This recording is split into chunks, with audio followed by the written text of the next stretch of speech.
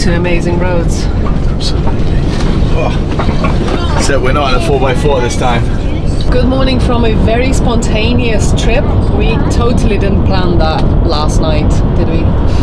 We totally didn't get this car dropped off to us at 8 o'clock last night for this last minute spontaneous adventure. But these are the best kinds of adventures. Yeah, it almost didn't happen, but then I thought we love the thrill of just planning something really last minute. So thought, let's just go through with it. So yeah. To, The easiest way, Mombasa. then I, uh, so- pole pole, I go this way, no problem. Okay, Asante. The locals are uh, telling you to stay clear off that road. This is the thing, guys. When it comes to driving around in Kenya, don't be a man.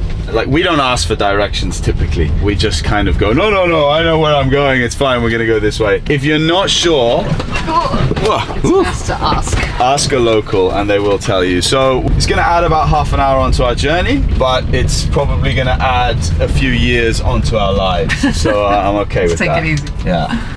And so this is where the chaos is. Why is there so much noise? I can hear whistles and Music? music and people running now. They're Where are we going? telling me to move. What's going on? I have no idea. They're like shouting, go, go, go, go, that way, that way, that way, that way. And the thing No, you is, went the wrong way. Right, we need to turn I around. can do a U-turn. This whole Mombasa thing is not for the faint-hearted. If you self-drive, you've got to be prepared. If you're not used to it, just be ready. General rule of thumb for driving, particularly in the cities, keep a cool head. Don't make sudden decisions based on how you feel. Just go with it. If you make a mistake, you'll find a way out of it, kind of thing. It's just because And follow the road rules. definitely follow the rules of the road. Do not get yourself in a difficult situation. And uh, Don't get yourself in a difficult situation. All right, all right.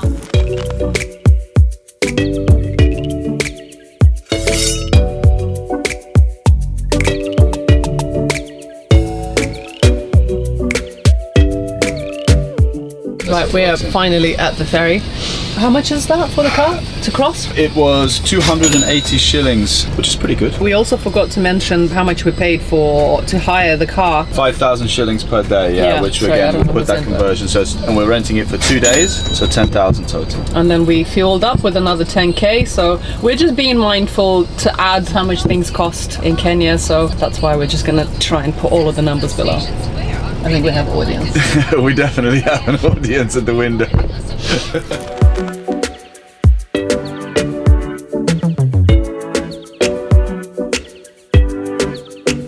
Welcome, to Mandhari Lodge.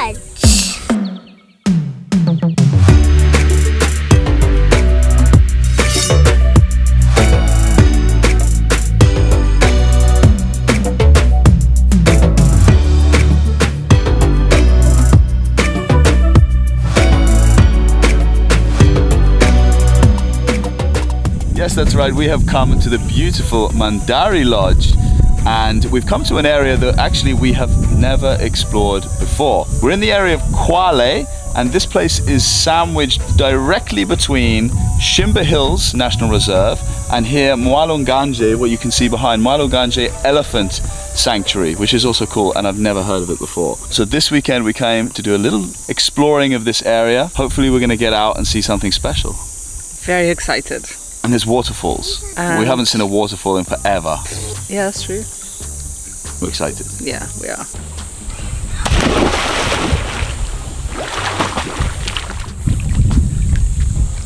How's the water? I can't even stand there. The view is absolutely amazing, and the staff here told us that you can sometimes see the elephants down in the sanctuary. And obviously, you've got this amazing pool, so you can just sit in it and just watch for hours. So it's quite a cool little place here. You can either rent this in its entirety as an eight person villa, or you can come here and they, they split it up. You've got the place behind us here has two separate bedrooms in, so you can just take that. Or The room that we're staying in is a beautiful, ginormous bedroom with an amazing view out, and then they've got another little cottage down the bottom as well. But they also actually do day trips here. You can actually organize with the lodge to come from Diani, spend some time here. You can come, have lunch, go into the park, see some of the things there, use the pool here. So you can either spend the middle part of the day here, or they can organize like a sundowner package. So you come in the afternoon, you can spend some time down in the park, come up here for the late afternoon, and just enjoy the beautiful sunset, which we haven't seen yet, but apparently where we are right now is the prime spot. So apparently the sun is setting right ah, there. Alia, Yeah. what are you doing? What have you, what I have got you doing? baby praying mantises and a tiny baby jumping spider. Baby praying mantises. Four of them and one baby spider. Oh yeah. He's tiny. He's Collecting praying mantis babies. And I'm collecting baby animals. Baby everything, right? Yeah. But in other news, food has arrived. We asked for something quick and simple, and they have delivered. Got a pasta. I've got myself some chicken and ugali there, some omelette, nice sauce here. What's that nice smell? That nice smell is my chicken. Cheers. Cheers. What are you guys eating? Yummy, golly, golly. Ugali, ugali, ugali. Is it nice? If you had to pick between ugali and chapati, which one wins? Ugali. Ugali wins. Wow. Okay. Okay. I'm I only love this kind of sauce. oh, with that sauce. Enjoy.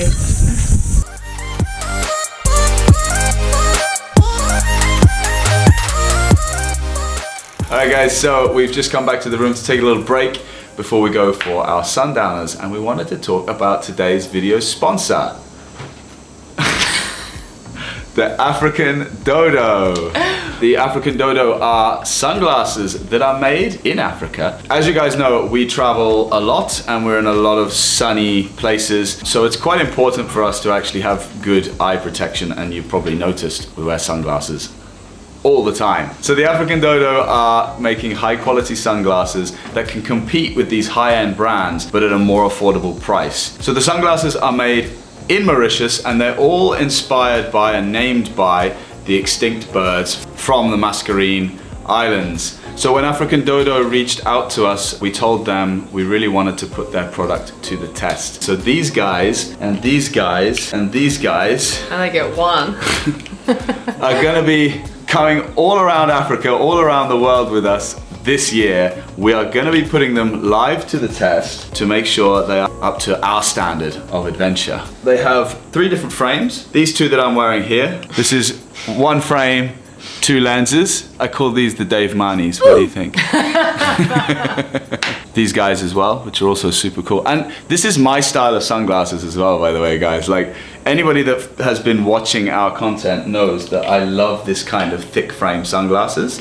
And then uh, Ina is rocking these these bad guys. So this is what I've got, and currently they only have this pair for the ladies, but they are working on bringing new designs. So do stay tuned for that. but it's actually a unisex lens. I think I actually look pretty cool in these as well. Okay. If you would like to purchase your own pair of the African Dodo sunglasses, there's a few places right now within Kenya. You can either reach out to them via Instagram or through their website, or you can find them in Kenya in one of these places.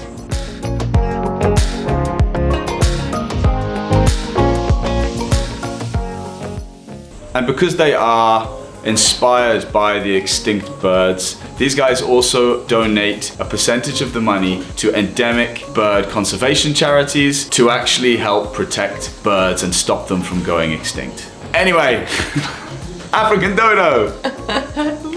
Moving on. Even though it's almost time for sunset, the pool was just too inviting, wasn't it, Malia? We had to get back in. Are you gonna jump? Yeah. Do it.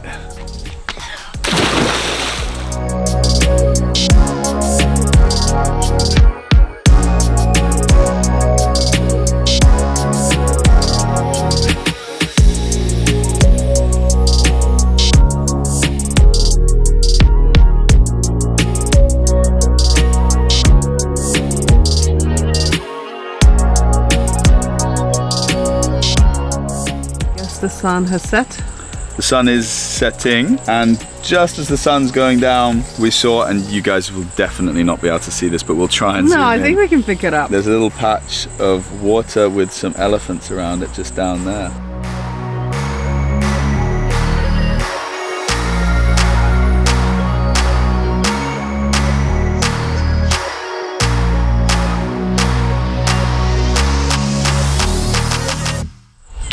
Here at Mandhari Lodge, they have this cool little pagoda sunset point. But basically, this is the best spot to come and watch the sunset.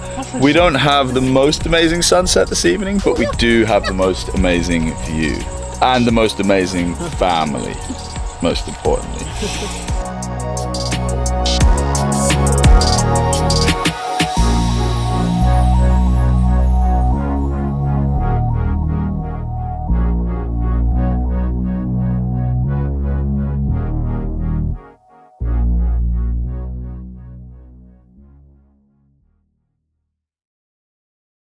morning and welcome back to Shimba Hills. It's so nice and peaceful up here this morning. We're getting packed up, all of our stuff in the car. My beautiful assistant is is coming. Good morning. Good morning. So yeah, the idea this morning we're going to head down into Shimba Hills National Reserve, which we have no idea what to expect. So we're quite excited to just explore somewhere a little bit new. Apparently there's a really cool waterfall there, Sheldrick Falls. We've organised for a ranger to accompany us and take us down there. I don't know, can we swim in the, the waterfall? We'll find out. Maybe swimming. We have swimming costumes. And yeah, to explore a little bit more of this beautiful landscape around us. So We were supposed to leave about half an hour ago, but 15 minutes ago. We're on time. yeah.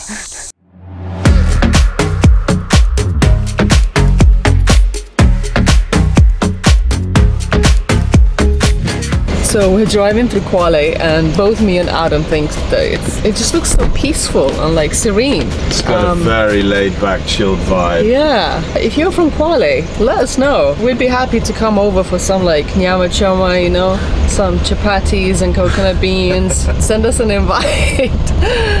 That's all we wanted to say.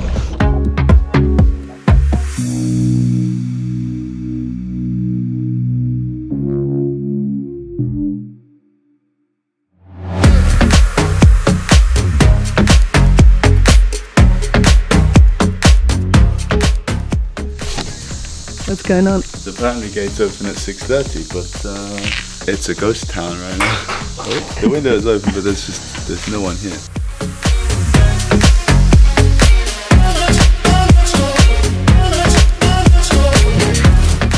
What can you see? Closer to the baboon. What can you see? A baby walking really close to the baboon. Baboons. Where are the baboons?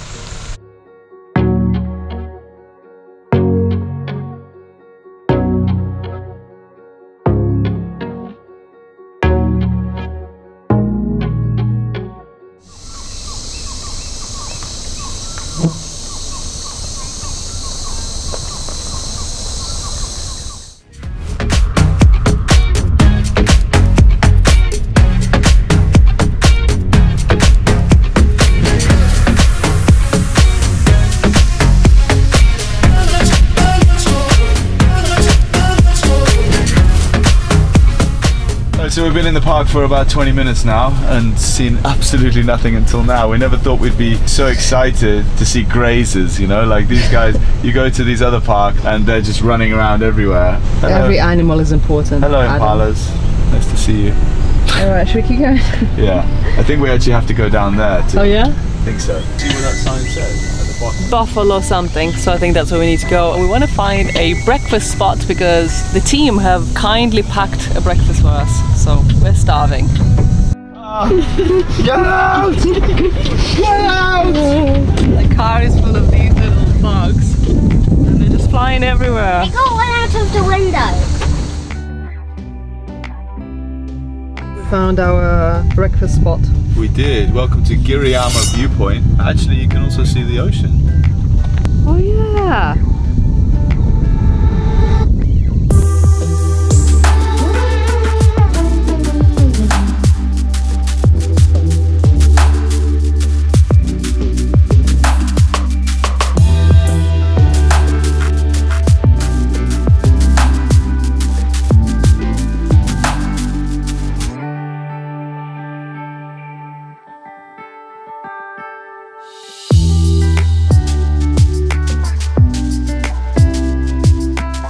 Breakfast with a view, complete. And now it's time to go and meet our ranger who's going to take us down to Sheldrick Falls. You can actually go down to Sheldrick Falls without paying for a ranger From 10 if you go from 10 a.m. But because we want to go there a bit earlier before all the crowds, we are going to pay a ranger. We'll also let you know how much that costs exactly. All right, let's begin. It's going to take uh, who knows how long down there. It's about two and a half kilometers each way. So fingers crossed for this little one making it.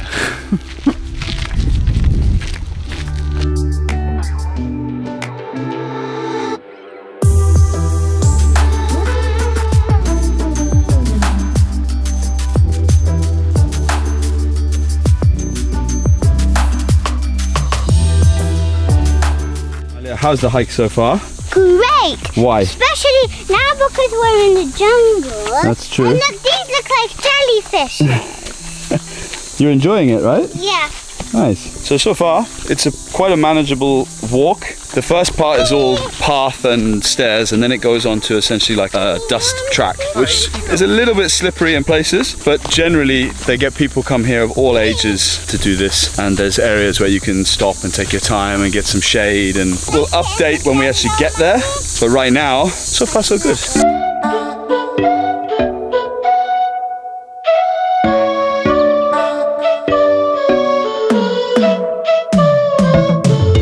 Have these beautiful mahogany trees here, which just, to be honest, we've seen a lot of trees, but these just, they just look very, I don't know, very powerful. Yeah. you know, they're just like there.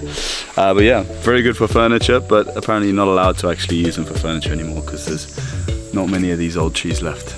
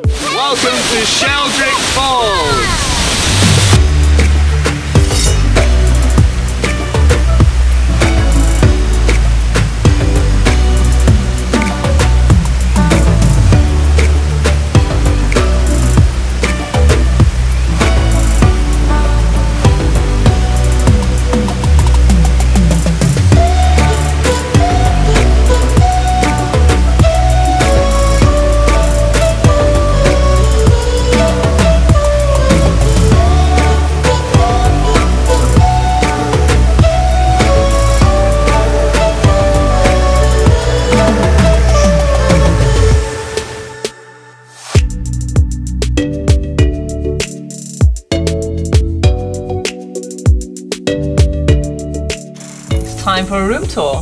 Welcome to Golini Suite. Come right in. First of all, the view is everything. It's out of this world. Comes with a massive bed.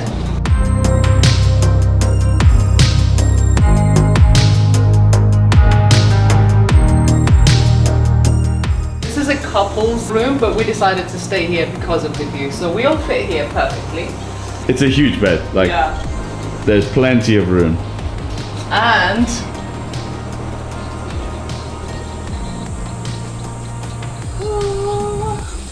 incredible view.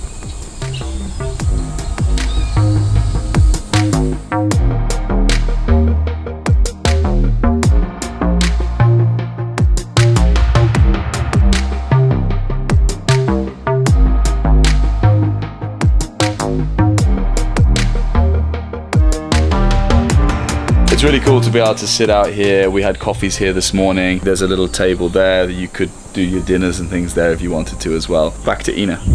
Okay, so this is the, the terrace. Love this side. Obviously, this is the chill out space. Over here, you can have, I don't know, maybe some sort of private lunch or a dinner. But I've got to say, the bathroom is probably one of my favorite bathrooms that I have ever encountered. Indoor outdoor bathroom.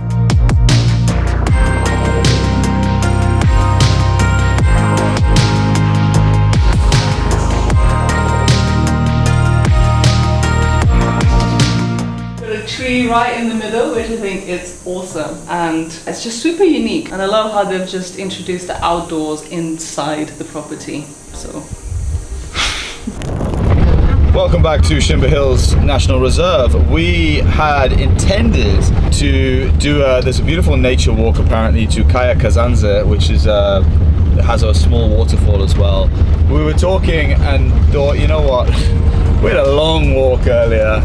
We spent really no time in the park other than just kind of going to Sheldrick Falls. And because it was such a beautiful waterfall, we thought this going to the, another waterfall today might not give the effect that we wanted. So we decided to come back into Shimba Hills, explore a little bit more, and go for some look for some viewpoints basically. What we now understand is in the park itself, people don't typically come here for the abundance of wildlife. They come here more for the scenery and the views. So if that's what they give us, that's what we'll take. We're gonna head in, go and find some beautiful viewpoints hopefully, and show you guys a little bit more of Shimba Hills National Reserve. Right, let's go.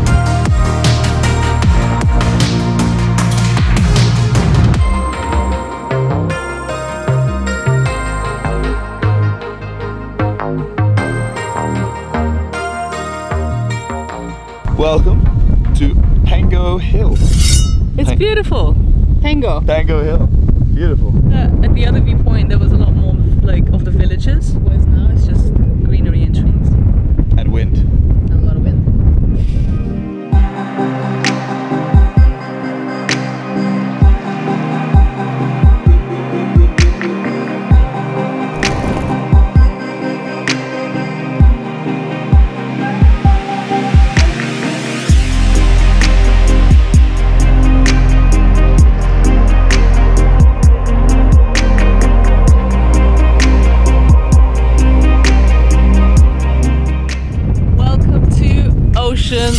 Viewpoint.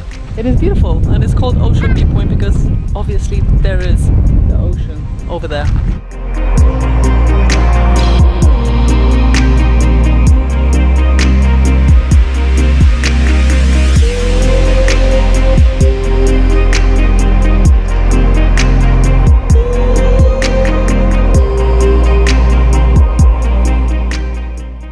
So there are various viewpoints here and one that we tried to find find it. We almost didn't even find the ocean viewpoint. But we've got some popcorn and we want to basically enjoy the last bit of our day here in Shimba Hills before we go back to. What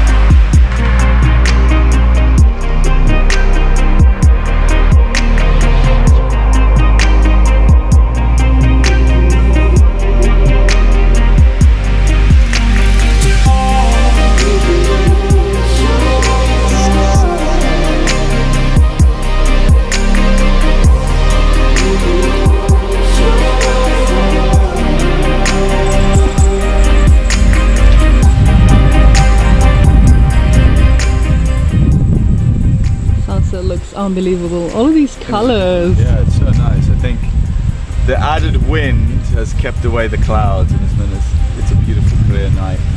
Kind of, yeah, you can see for miles.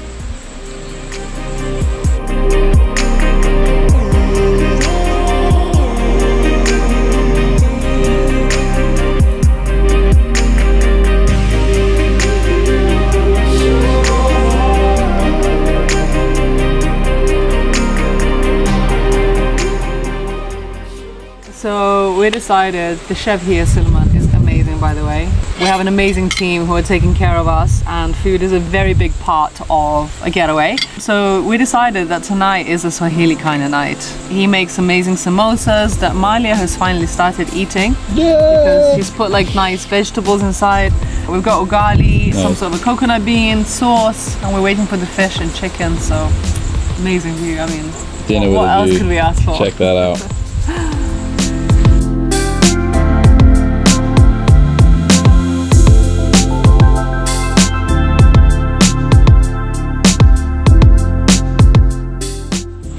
And I think it's about time to say goodbye. Before we do, we want to just talk a little bit about the property here and just as a little recap. Mandhari Lodge sleeps eight people.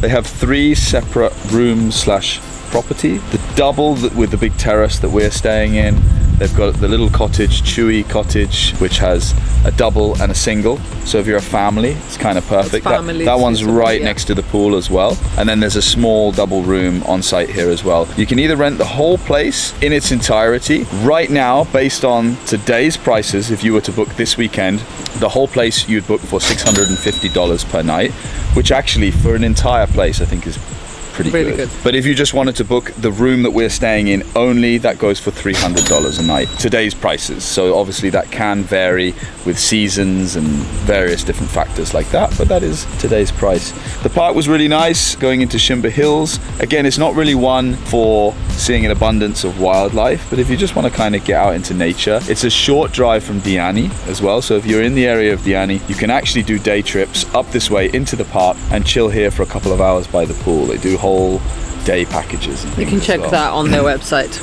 All of that information is on their website, and we will link that up in the description as well. Ah, I forgot something. What? I have to add it in. What? The waterfall, the times. It was at 10 a.m. 10 a.m. and 2, right? and 2 p.m. If you do not want to pay for a ranger to take you down to the waterfall to Sheldrick Falls, they do a free guided walk down there at 10 a.m. and 2 p.m. However, it does get a lot of people. There were probably, I don't know exactly, but at least 20 people that Yeah. were down there in the group that we saw earlier. Or we were so grateful that we actually decided to um, book a ranger, which is 2,000 shillings plus any extra tip that you want to give them in order to have that whole place to ourselves. It's really worth it, guys.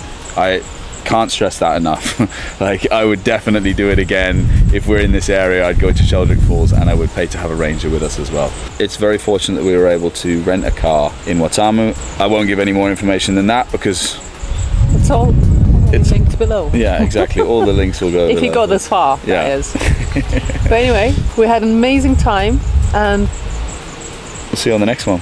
bye. Bye.